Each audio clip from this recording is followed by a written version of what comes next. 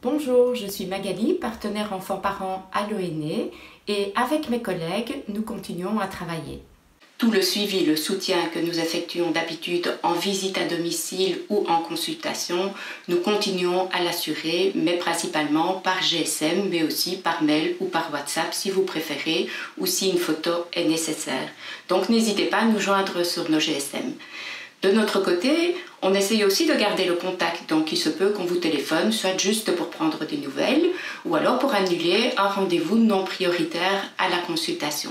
Dans ce cas, on parlera évidemment de votre manière de vivre le confinement en famille, des difficultés et solutions euh, pour essayer que ça se passe mieux, qu'on essaiera de trouver ensemble, mais aussi on abordera les sujets qui concernent l'âge de vos enfants, donc comme d'habitude, l'alimentation, le développement psychomoteur, le langage, les colères, le sommeil, etc.